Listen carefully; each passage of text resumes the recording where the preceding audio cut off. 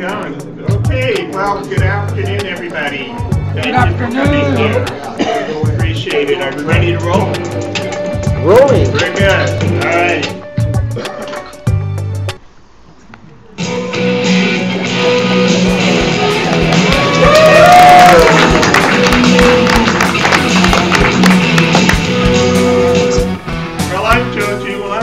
Yes, my name really is Joe. You'd be surprised at how many people ask me that question. Some people tried to start a rumor that my name was Frank, but it didn't work. So we're going to be talking about uh, this afternoon for the next hour is this topic right here. What gets you an A plus reputation, and how do you get A plus clients? Now, before we get started, um, some of you are going to hear some things maybe for the first time. Some of you are going to hear some things that you have heard about before. Some of this stuff may not be new to you, but I want to tell you this that unless you are doing the things that I talk about this afternoon, then you really don't know it.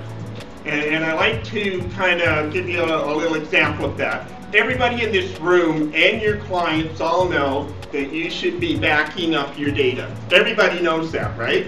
Mm-hmm. But if you do not back up your data and your system crashes and you start crying about how you lost your data, you only know about backing up your data.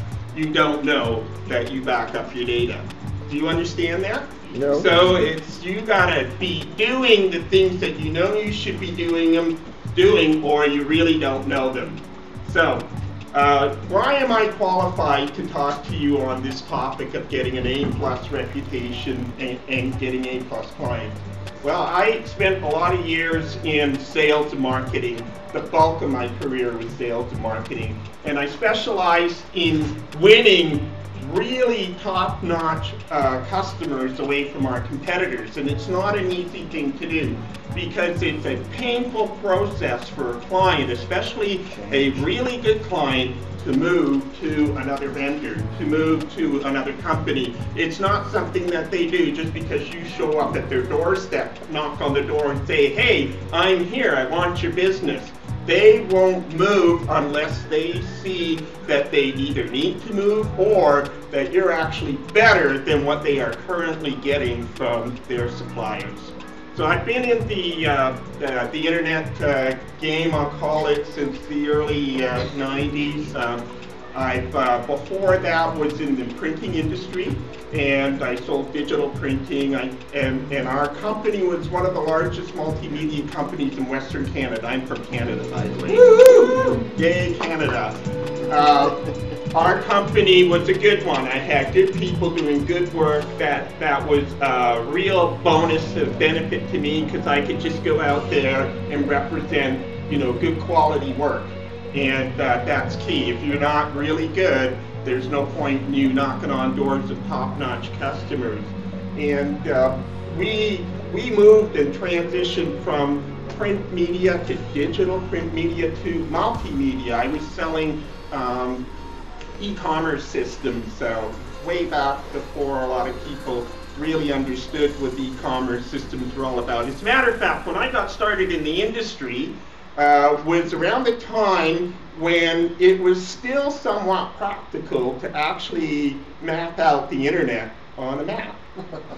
Can you believe it? This was a, uh, a map that was in a magazine about the internet, and all of the top relevant uh, internet uh, places could be put on a map like this, or like the map of the United States.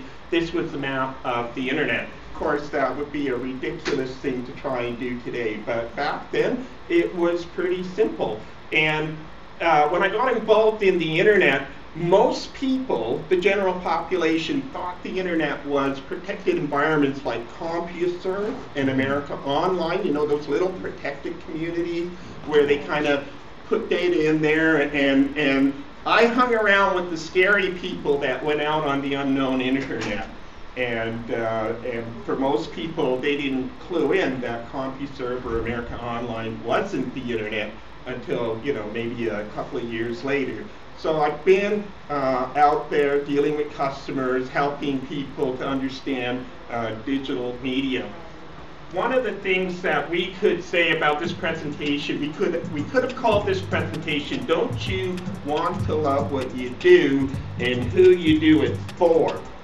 Really, everybody in this room, you got to spend so much time working. Don't you want to love what you do and who you're doing it for, right?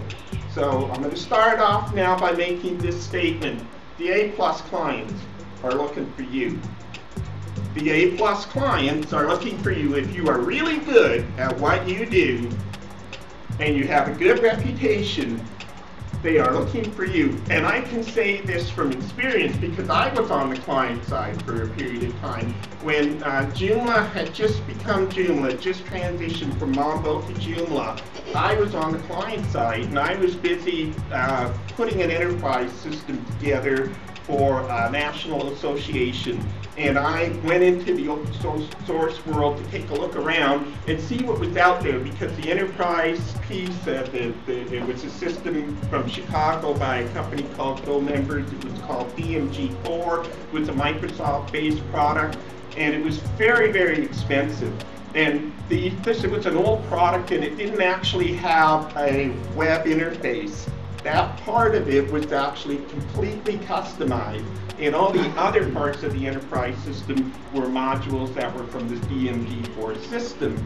And uh, uh, when I started looking around at open source, I, I saw Joomla and I went, wow, you know what? This could actually replace pieces of this enterprise system and do a really, really good job right out of the box, a whole lot cheaper than the money that we were spending to create this environment ourselves. So uh, I had a budget. We were spending hundreds of thousands of dollars on this enterprise system. So I had a budget for the web piece. And I thought, Joomla is cool. And then I couldn't find anybody that did it, that was near me, that could be my vendor. I even tried waving, you know, I have a budget, because, you know, and it still didn't help me. And it wound up that it turned out to be a blessing in disguise for me because what happened is it forced me to learn Joomla.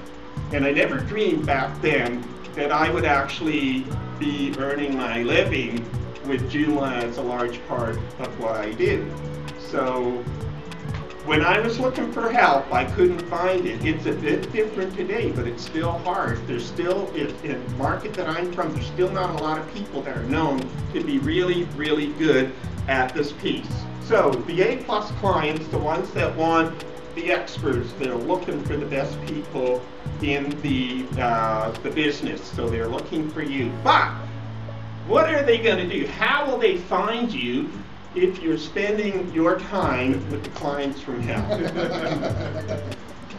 this is true. They will not be able to find you if you're spending time with the clients from hell. Let's talk a little bit about what is an A-plus client. An A-plus client, this is subjective. An A-plus client means different things to different people. It may mean that uh, it's somebody that pays their bills on time. It may be that it's somebody that actually respects what you do. It may be a person that's easy to work with. It might be somebody that's, you know, bits and pieces of all of that. It's different for different people. But I will tell you that there are some attributes of an A-plus client that you need to understand, is that they are people that want you to be successful too. They are people that want you to be profitable. They want you to go long term. They want you to be there for them long term. You see, because they're successful and they want to be there long term, so that's one of the attributes of an A-plus client. They're going to treat you really, really well. If this all sounds foreign to you, you do not have A-plus clients.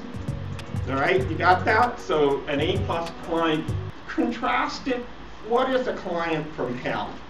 Well, the client from hell is an individual that thinks their dollar is worth $100 and that uh, believe unreasonable things about you and think that from where you come from, you're a dime a dozen and can be replaced just like that.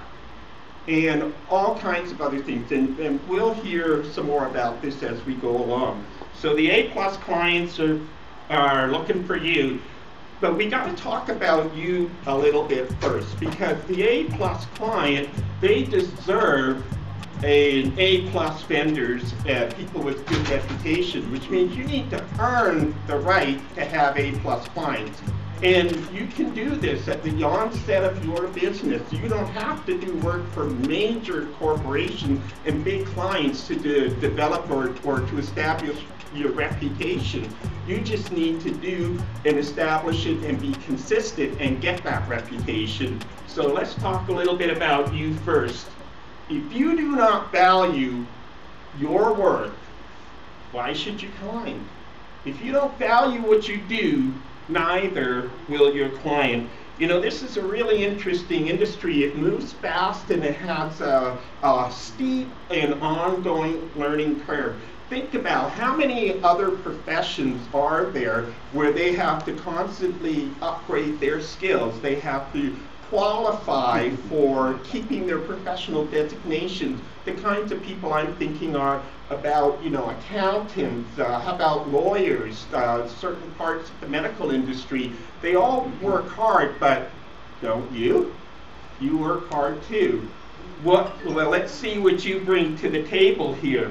You need to know HTML, CSS, have design sense, and know specialized software JavaScript, Ajax, PHP, MySQL, know about web servers, do project management, you know, need to know social media, mobile, it's all about responsive HTML5, and it's enough to make your head explode. You have value, and, and you should respect your value. You know, they want professionals, they want professionals with a good reputation. But who determines your reputation? How do you manage that? What do you do? Do you go out and you hire a public relations firm to establish your reputation? How does this work? Well, actually, it's really simple. There's two sources from where your reputation comes from, either yourself or someone else. It's as simple as that. And uh, I'm saying what has more clout, which has more credibility? You saying that you're great and wonderful, how, how many of us all put, you know, great big accolades on our website, uh, ooh, we're the greatest, we do this, nobody does it better, all that stuff sounds like a song, right? And people go to the website, they read it, and, you know, and, and they don't even know if it's uh, you or somebody that you hired to write it, and even if there's a name there, maybe they don't know what that name is. I'm going to show you a little video about uh, what I'm talking about here. Who determines your reputation, you or somebody else? I am the greatest. So here he is, screaming, I am the greatest. That's who? Him or somebody else? This is an article by a guy named Tom Watts, I believe, from uh, a boxing specialty out of his article, he makes this statement.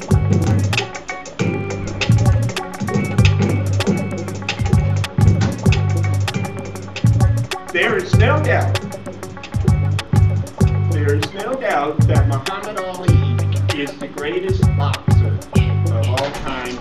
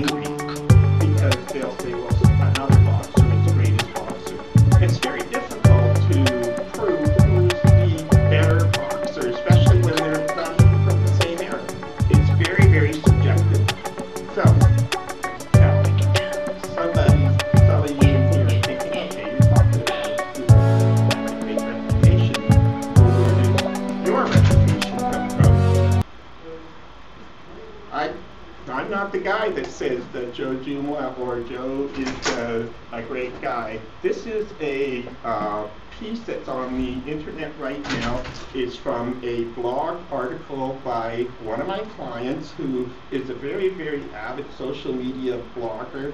And he is the marketing manager, European marketing manager uh, for an international technology company. And instead of doing Follow Friday, you know, where he puts a bunch of uh, Follow Friday in a bunch of people's Twitter things and publish them on Friday, what he does is he puts up a link and he says, here's my perpetual Follow Friday list. And he points people to a page that has a list of names of people and he puts a little blurb there about what he thinks about those people. And he says here, without any shadow of a doubt, Joe is the best Joomla consultant in all of Canada. If you use Joomla for your website and you needed to do something you thought wasn't possible or just do a much better job of the things you knew it was capable of, Joe is your man. In addition to wrangling websites, Joe is a brilliant trainer and can turn you into a Joomla superhero. Rumors that he is able to leap tall buildings in a single bound are, however, unfounded.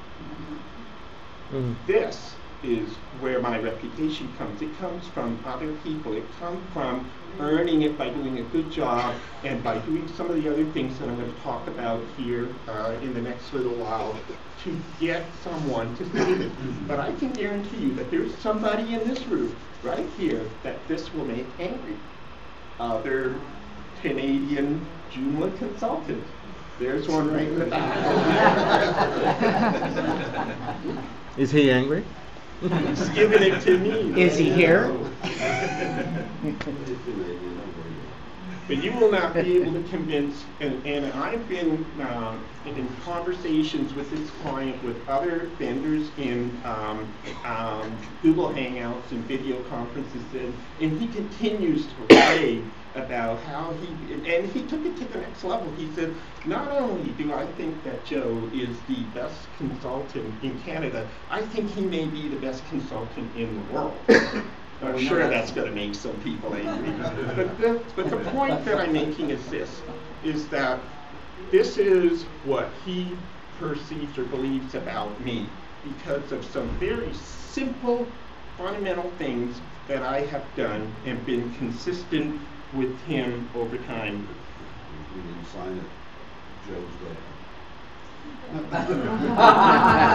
you know what? So somebody says to me, to, uh, to get a good reputation, all you have to do is put your name in front of the Joomla brand. Joe Joomla, right? Well, you know what? Betty Joomla, Bobby Joomla, Jenny Joomla, they're all available. Go for it. And then let me know how that's working for you later on. It's not as simple as that. A good reputation and good clients will keep you in the game and this is a game, indeed. It's a long-term game because if you have lousy clients, you won't go the distance. You will not finish the race. You will burn out.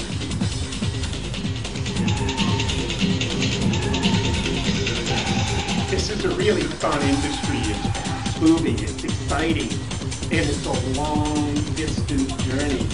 And you're not going to finish this race if you burn out. So we need to talk just a little bit about what is burnout and what burnout is.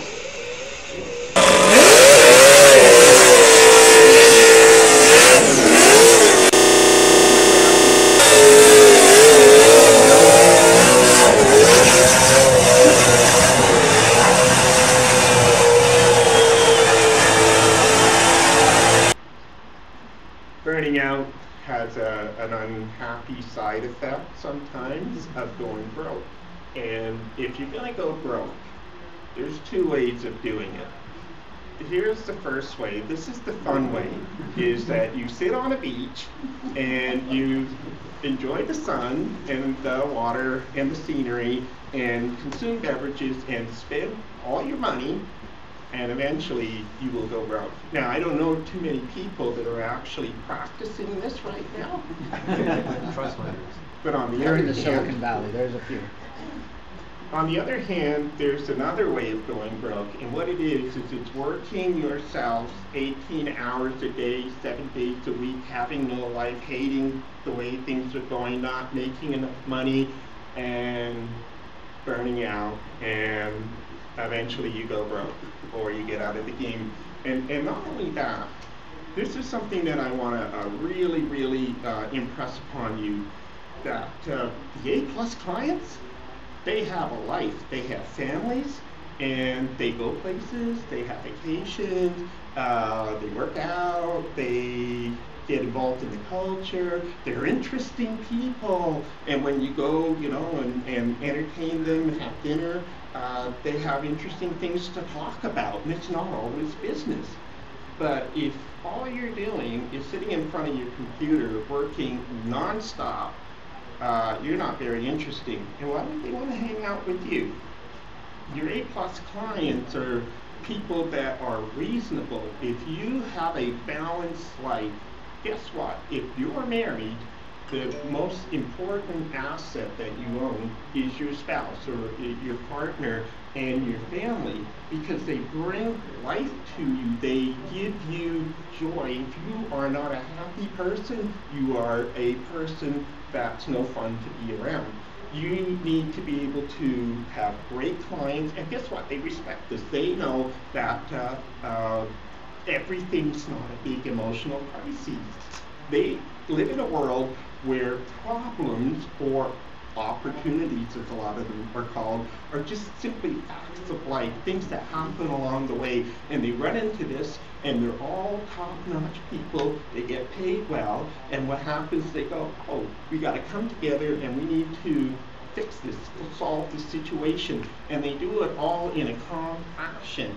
And their vendors and their suppliers, they all work with them in a calm fashion, not in a freak out fashion. So keep little mental notes here. The clients from hell, they freak out a lot.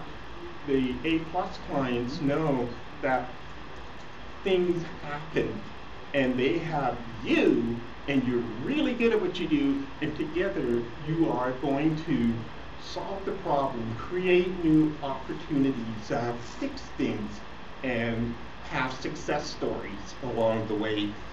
And uh, this is a really, really important thing. You need to be a healthy, happy, content person and not somebody that's working themselves to death and not having any fun.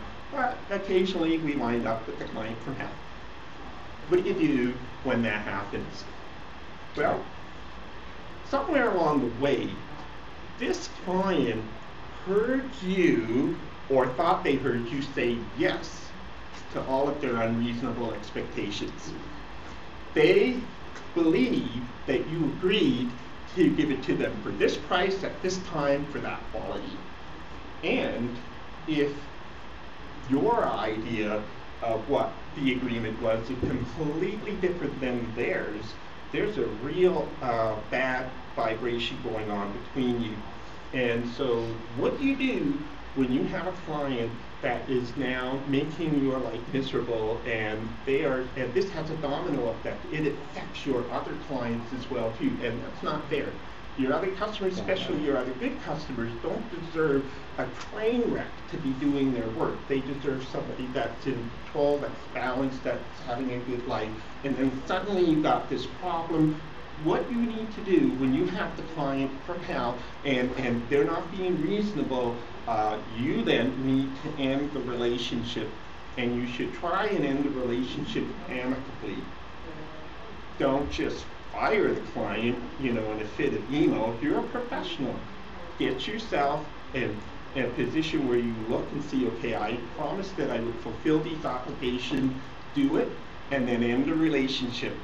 And if they're surprised, just say, I'm sorry, I'm no longer available to do your work because that person is going to make it difficult for you to wind up with A plus clients. You'll see more about what I mean uh, as we go along here. So you need to clarify your agreements. They need to understand exactly what the arrangement is and what the relationship is. I have a great story. uh, from my past here for you. This really happened. I was doing some work with a marketing uh, manager, a lady who owned a marketing company, and she uh, she she was very successful, but she had a hobby and she loved to do uh, landscape painting, and this was something that you know gave her joy and it took her mind off of her work. So she would wind up doing a series of landscape paintings, and she would pick a theme. And this particular time, she picked a theme of painting farms in Canada, farm operations. So be landscapes, would be farmhouse and the, the buildings and you know the barns and, and beautiful, uh, impressive, great-looking farm operations. And she thought, I'm going to have a show. and I'm going to sell some of these paintings. And so she did what marketers do. She got a venue and she invited a whole bunch of people to come out. And the room was full of people looking at these paintings, and they were really good. And a very well dressed gentleman uh, from the other side of the country approached this young lady. She was like in her late 20s at the time. And he said, I'm really like your work. This is really impressive. He said, I would like to hire you to take my farm. And he says, uh, but I'm on the other side of the country. He says, but I'm willing to fly you out and cover all of your expenses and um, and everything that you need for the whole duration, the whole time that you require during the duration of this project.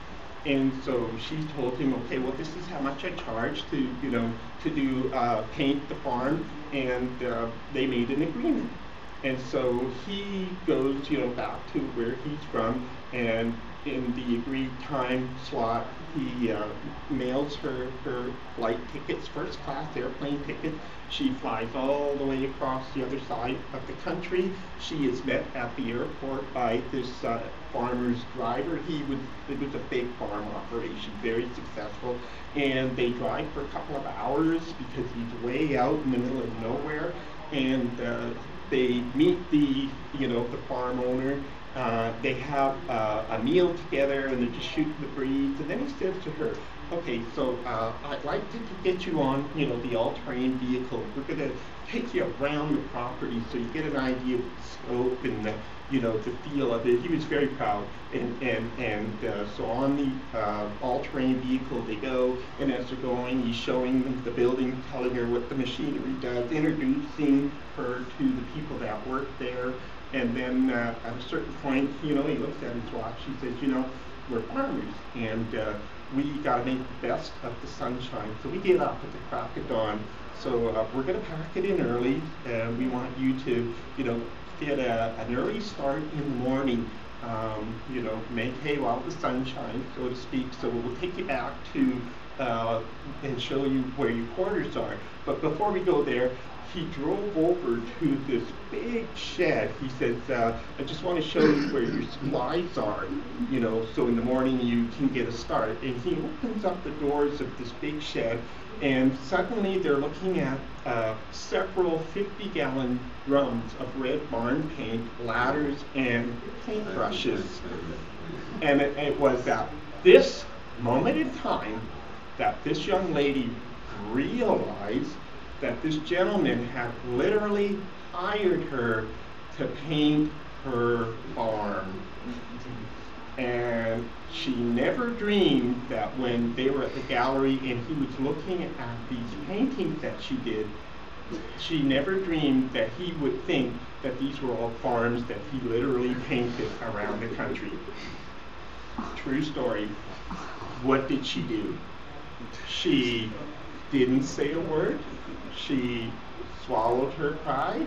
She got up early the next morning, went out to the thing, got the paint, got the ladders. She painted this man's farmhouse and fulfilled her obligations and made sure that in the future that she was a lot more clear about what she does. Wow. Wow. Want to talk Statement of work. Yeah. Holy crap. want to talk a little bit about business killing mistakes. And uh, these are all things that come from experience over the years. and some of them are, are very obvious. Charge properly for your professional services. Uh, I call this, uh, you know, presentation secrets of getting an A plus reputation, an A plus client. So here's one of the secrets. You might want to just make a note of this. The clients from hell are attracted like a bug is to light to low prices. There's that's if you price yourself low, too low, you are literally asking for the clients to hell to find from hell to find you. If you price yourself properly, you tend to avoid most of the clients from hell.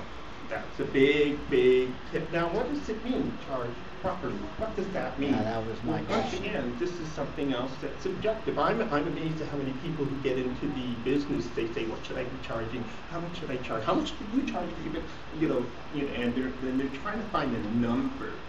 And, you know, most business people kind of have a mathematical formula that they can follow that, you know, considers their overhead and all their expenses and, and works at a profit. And they kind of know where they need to be priced because they know how much, how many man hours they have and what they need. Well, keep it simple. The right way to charge is that you need to be satisfied that you are getting what you need for the lifestyle that you want. That's the easy way of doing it. You must be happy with the living that you are making. Otherwise, you need to make a change. You need to make an adjustment, or you need to go and do something else if you can't figure out how to be happy. Uh, a lot of people are, you know, small operation. They uh, only have so many hours. But if they have to work 18 hours a day, seven days a week in order to pay their bills, that's not a good business model. And the A plus clients don't want you. They want professionals. And it's a uh, known thing that if you are underpriced, they think something's wrong. Oh, this guy's on the learning curve, or whatever, right? They'll want you messing with my work because, you know, I just paid X number of dollars to get this done from this other profession, and you're like getting yourself way here. Hmm, you're probably not in the same class as the other person. So one of the things that you do along the way as you're building your business, again, you're building your business, you're building your reputation, and in the beginning you don't have as many choices or as many uh, uh, times that you can say, no, I'm not doing your work. A lot of times you just have to take the work that comes in in order to get going. So as you are doing this, as you are doing your work and building up your business, even when your business is successful, you still need to do this thing. It's called evaluate your accounts and you need to be smart about it because the account that you bill the largest number at the end of the month may not be your best customer. Do the math and figure out that the number of hours for how much you are charging, and then you find out you're making less than minimum wage. That is not your best customer. You may discover that you're doing smaller projects that are much more highly profitable, and that this other person that's chewing up all your time, even though you're building billing the largest uh, volume of dollars, is actually hindering your business from moving forward. Very, very important. So you evaluate your account, and you do this, and you always replace the bottom account. You always look at your client list. You know how many customers that you can handle. Now, there are some businesses that are, are, are very fundamentally different than, say, ongoing clients. But when I I have clients that I have retainers for, and they retain me for, you know, uh, this many hours a month, and if they need more, they buy more. Like I have all these different kinds of clients. If you only have like, you know, the, the you know, you sell it once and you're gone, uh, we're not talking about that. That's a whole different business model. But I'm talking about where you have a client base that you are ongoing and actively uh, looking after.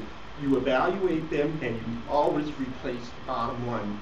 Unless you have a full client list of all A plus clients and you're happy as heck with each and every one of them, they all treat you well and they all pay you properly, you replace the bottom one. But there's an exception to this you gotta have fun at what you do. So when I was building my business in uh, the sales industry, you know, in the communications industry, I was adding better clients over time, and I had to free up time in order to do what it takes to do the marketing and the promotion to position myself to get those other clients that I wanted. I literally targeted clients that I want that one, this would be a good one for our company, I'd love to work for them. And well, if you're busy all the time, you can't do what it takes to get yourself in front of those people. So you need to make time. The way you make time is you literally make time. This one's taking up time, it's not as profitable. I'm going to put it aside and I'm going to spend time wooing you. And I'm going to spend time wooing you. Would it be easy just to hire somebody else I'm to work with you?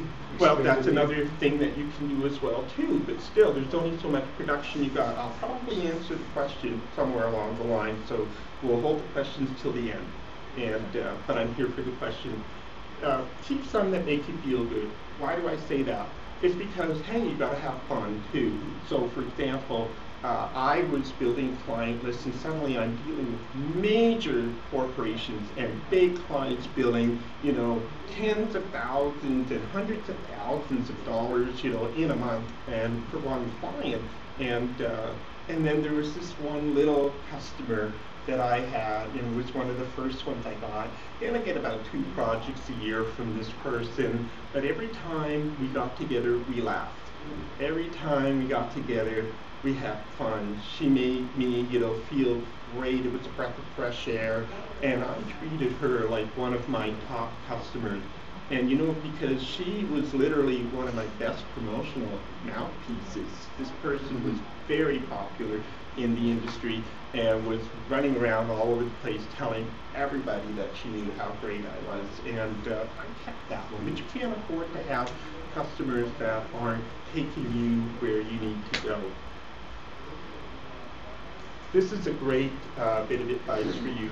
Get yourself a board of advisors. I was asked by a software development company, a startup actually, if I would be on the board of advisors. And what this gentleman did is he found somebody, I was just uh, from the sales industry, he found somebody from the financial industry, he got somebody who was uh, from a successful company that was a production manager, he got lawyers, he got different disciplines who once a month would get together and he would offer them a lunch and uh, he had put out ahead of time before they came the one question uh, that was daunting him that he was needing, you know, professional advice from. And it wasn't always relevant to every part, every sector of the advisory group. So people would come out anyways and just, then you always gain great information.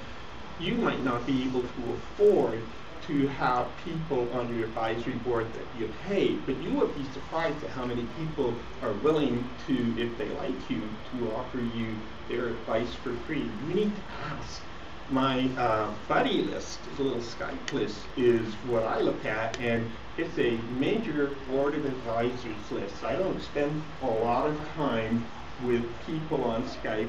Uh, they're all professionals. I respect their time, and uh, and they're all.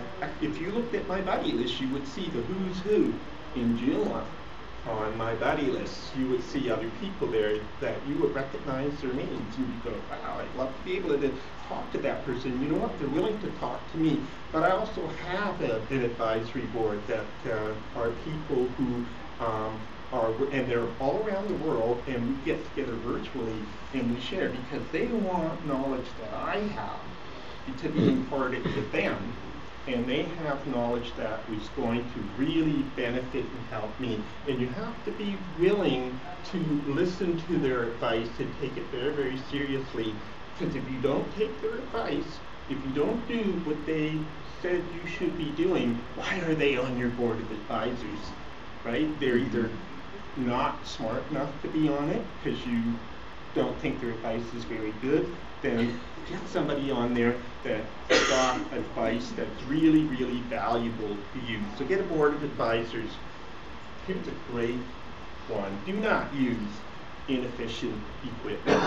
I am absolutely amazed at people who call themselves professionals that have computer equipment that's uh, three, four generations old, and they're trying to still stretch out some life in this baby. And uh, I have been guilty of this uh, about a year and a half ago, maybe two years. I was in Chicago, and I, I use Macintosh equipment because my background is design, basically. I'm from the design advertising community.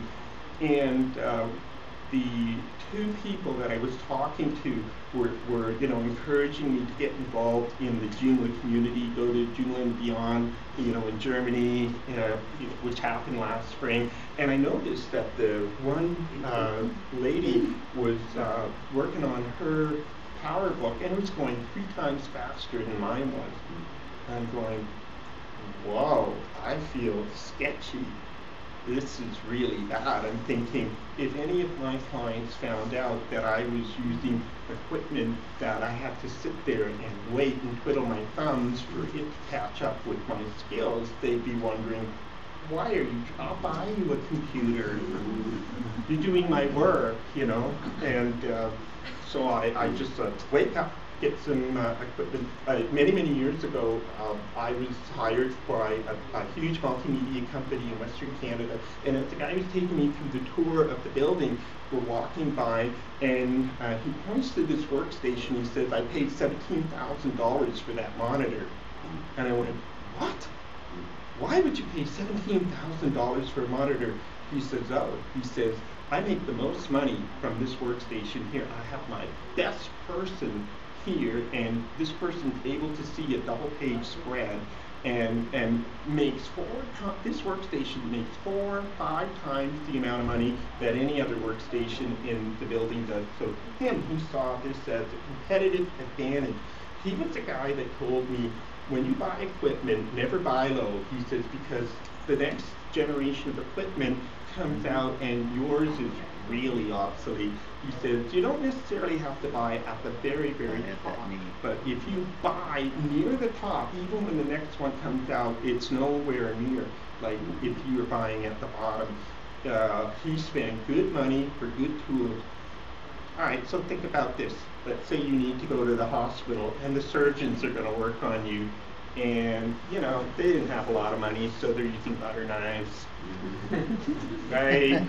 And uh, they're kind of sort of you know stretch the budget a little bit, and and they're using equipment and things to look after you that you, you realize are what am I doing here? Think about that. Do not use inefficient equipment. You will also enjoy what you do a lot more when you have great working equipment. And, uh, you know, there, you can always find use for this, this thing here. It's got a lifespan of whatever. The, the minute I know that uh, I need a faster machine, I'm looking. If I can't afford to buy one, am I charging enough? Do I have the, am I in the right business? And don't use inefficient equipment. Do not do what you are not good at. Now, this is a particularly tough area for people that are just starting out in the business. Um, they think they have to do everything themselves. That's not true. If you start doing things that you are not good at, your reputation will sink. You get a good reputation by doing good work, but it's not you that has to do everything. Think about it. Your customers hire you to do their website. They're not doing it themselves, right? If they did everything themselves, they'd do the website themselves too. Instead, they hired you. But all the things that are in the website, um, great design, PHP, JavaScript, all, all of that complexity, they all combine together to make one thing. And you're the guy selling it to them. And it's okay if you go and hire this one and you hire that one and you hire that one to do it. As far as your customer is concerned, you're the one that provided the services and the goods. And your reputation will skyrocket. The better each part of the disciplines are, the better you are. And that goes into your reputation. So do not do what you are not good at. You don't have to be the best coder or the best designer to have the best client. You just simply need to be able to solve problems for people. That's why they hired you. that's why that gentleman who says Joe is the best Joomla consultant in all of Canada, is because you see, when he knows when he calls me, that he's not expecting Joe to do everything. He just knows that if Joe doesn't do it himself, Joe will go and find the appropriate person to do it at the level that it needs to be done at. And he appreciates that. He knows that's what's happening. So make sure that you solve problems for people. That's why they hired you. And as long as you keep that straight, if you're going 20, you know, I learned this lesson. I sweat for uh, a couple of days to try and, and do this one little piece. And it was driving me nuts. And then what happens is that your disposition sinks. You start getting, uh, you lose your confidence. You start getting depressed. You no longer like you're doing. And then suddenly I called the guy, and that, the guy that I called, who uh, was at the time the lead developer for the Joomla project, and I talked to him. I said, "This is driving me absolutely nuts." He says, "Well, well why are you doing it?" He says, "Go over here and do this. Get this part, and, and just replace that whole thing with this."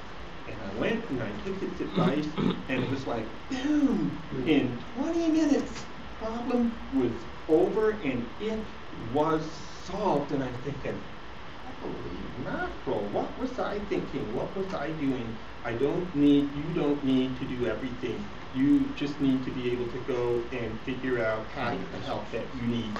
If you're not doing that, you really don't know it. You only know about it. Can you benefit from competitors who compete on price? Absolutely, yes, you can. Because when they get jammed up with low paying work, they remove themselves from the marketplace and they leave you, and you can command the prices that you deserve. We did a quote, as a matter of fact, uh, I did a quote, uh, and my good friend from Canada, Alan, was in on this quote. And we looked at this project, it was fairly complex, and um, you know, and I thought, I'm not going to do all these things. I need this guy, this guy, this guy, and this guy.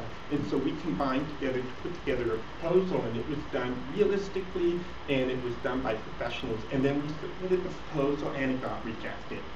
And the guy went with a, a lower price. So fine, we put a lot of work into the, the quote, but we didn't get it. And then several months later, I get an email from the guy that went somewhere else, and he sent me a link. Check out the website that got done by the other guys. And it was really interesting. The first place I looked at it was on my iPad. And when I went there, I, all I saw on the about the the fold on my iPad was just this big blank box. And I thought, oh, Screenshot. okay. You know, I kind of Am I on the right scrolled. side? I That's what I'd have done. scrolled a little bit and I'm looking and you know the rest of it was okay. So you know I just sent him a quick email and I said, uh, you know I looked at your site, it looks nice. I said, so by the way, you know you might want to have a look at this. There's like you know no I knew it was Flash. There's like no video or whatever it is that's in that great big space at the top of your site. Then he sends me an email back and he says, oh yeah, he says there have been problems. And that's when he goes, Would you be able to help me? And I said, No, I'm sorry, I'm not available for you to do your work. Yeah. So, yes, you can benefit from the uh, people that compete on price. Skills and talent uh, is very necessary, but there's something that trumps them every time. And what it is that trumps people, uh, trumps these two things, is honesty. Honesty. Uh, a guy, how much time do I have? Five minutes? Don't worry, don't Okay. worry. I'm counting. A guy that uh, was in the communications industry on the client side for 27 years as a professional, and he said this to me. He says, in the whole 27 years that I've been in the business, I only ever met two people that were completely honest with me and had integrity. He says, and you were one of them. And then he named the other guy, and I knew who the other guy was. And I thought, wow, 27 years. Well, why is that? The reason this happens is that a lot of times salespeople get thrown out into the industry and they're told you got 30 days, 60 days, whatever, to prove yourself. And the good clients, the A plus clients, you don't move them necessarily in the first 30, 60, or 90 days. And uh, what happens is that these people, they start getting nervous because time is going fast and they need some results. This is a true story told to me by the guy that did it. He said, so I told this customer, yes, I can deliver your job in two weeks. And this client said, well, you can have the job if you can get it to me in two weeks. It was not a two-week job. It was a job that would take a minimum of four weeks, maybe five, just because of the complexity of it. And but he lied to the customer, and they gave him the job. And then uh, the day before the job was supposed to be delivered, he phones the customer. It was a printing job, but same same thing applies in our industry. And he says to them, "Oh," he says, "Man," he said. Um, we have an engineer in here and a bunch of mechanics, and they have our printing press taken apart. It's all over the floor in our um, plant. It broke, you know, in the night. And as soon as we fix this thing, uh, we'll, you know, get your job back on, and uh, and I'll call you, and let you know when it comes. So the customer says, "Oh man, that's really unfortunate." So he hangs up the phone, and then what the sales guy didn't know is that the client knew someone who worked in the company. So he just put the phone down, then picked it up, dialed the number, called the plant, and he says, "Hey, uh, you know, Bill, how are you doing? Oh, I'm doing fine. He says, um, how are things going in the plant? He says, great. He says, oh man. He says, we're going gangbusters in here. We're like at 100% capacity. Every, he says, everything's good? Everything's good. Busted. And the reason this happens is that when people get themselves under pressure and they do un- unethical things to get business, and it proves to be successful, they keep doing it because it works. But your A plus clients don't fall for that stuff. They understand that if you're honest, then it's reality and they will work together with you. Mm-hmm. So honesty and integrity will trump skills every single time. I want to thank you very, very much uh, for this. Uh, there's a whole lot more that I can say, but don't forget this, that if none of these things them